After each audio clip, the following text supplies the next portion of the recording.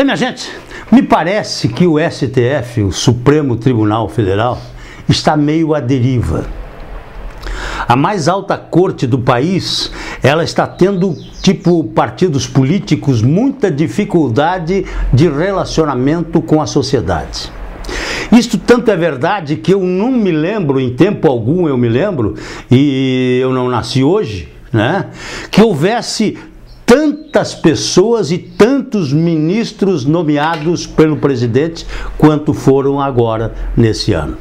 Só para você ter ideia, já foram sete em onze, podendo ainda chegar a oitavo até dezembro, devido à aposentadoria de um dos ministros, que é o Eros Grau. Então isso mostra o seguinte, você vê, são sete, dos onze já foram trocados sete. É uma coisa que realmente preocupa. Agora, um outro detalhe que me chama a atenção também, e que eu sou obrigado a falar para o meu amigo telespectador, é no que diz respeito à lei número 12.292. Eu cheguei a citar o número da lei porque eu não quis acreditar nisso.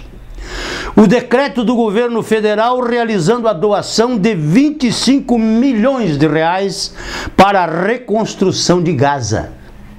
Enquanto que brasileiros aqui no Nordeste passam dificuldades com os problemas com a maior enchente já ocorrida, como aconteceu lá, com enchente como aconteceu aqui em Santa Catarina, com todos esses problemas que nós temos aqui, e o governo brasileiro doa 25 milhões de reais para a reconstrução de Gaza.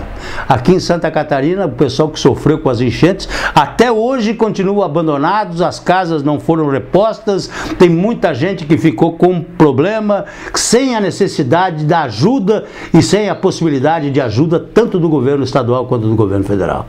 E aí o governo dá 25 milhões de reais para a reconstrução de Gaza. É isso aí, minha gente. Um abraço e eu volto amanhã, se Deus quiser. Sempre em nome da Reunidas e do Beto Carreiro World.